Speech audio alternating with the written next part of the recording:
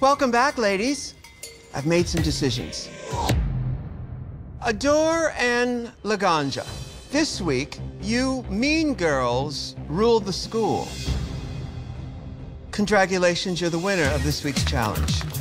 Oh my God. I'm shocked. So am I. Oh, Pusher, please, for me. Such a nasty bitch.